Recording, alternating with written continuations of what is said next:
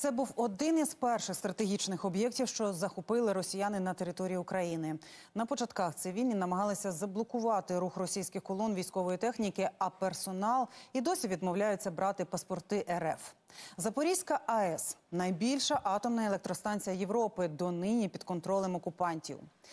Чим це загрожує світу? В якому режимі нині працює АЕС? Ядерні експерти Грінпіс у співпраці з Запорізькою обласною військовою адміністрацією представили свій аналіз ядерної кризи на станції. Два роки тому ці кадри облетіли увесь світ. Жителі Енергодару кілька днів поспіль гуртом виходили проти ворога, щоб захистити від окупації своє місто та атомну станцію. Втім, по мирних людях росіяни відкрили вогонь. Та ти що?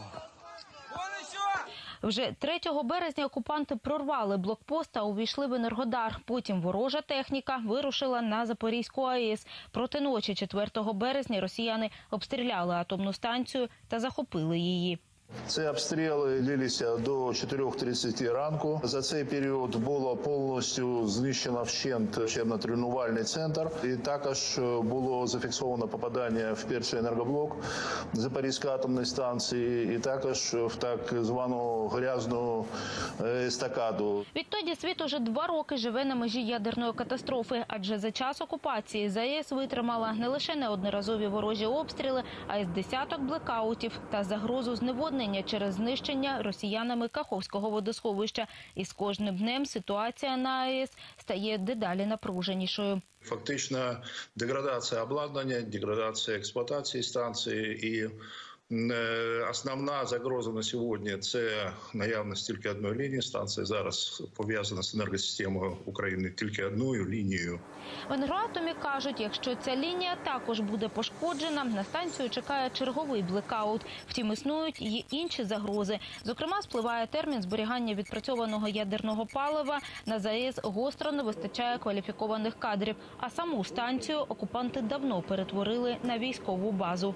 На станції безпосередньо присутні збройні сили е, російського ворога, воєнізовані структури, е, також військова техніка.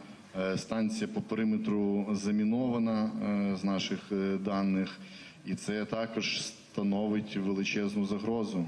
Під прикриттям атомної станції окупанти продовжують завдавати ударів по українських містах та селах. Ще одним ризиком для ядерної безпеки може стати намагання окупантів запустити енергоблок. Такий сценарій у майбутньому не виключають представники міжнародної організації Greenpeace.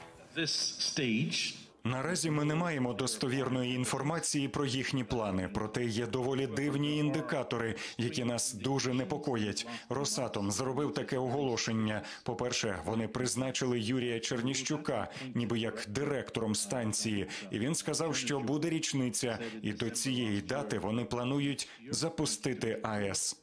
Докази злочинів, які чинять росіяни на атомній станції, представники Грінпісу збирають з перших днів великої війни. У такий спосіб чинити більший міжнародний тиск на Європейський Союз, на Сполучені Штати Америки, на інші уряди, безпосередньо на членів міжнародного атомного агентства, щоб вони звертали більшу увагу і тиснули на Російську Федерацію, конкретно санкціонували Росатом за його дії. Експерти впевнені, варіантів розвитку подій на Запорізькій АЕС може бути чимало. Втім, у жодному випадку не можна говорити про ядерну безпеку, доки станція перебуває під окупацією.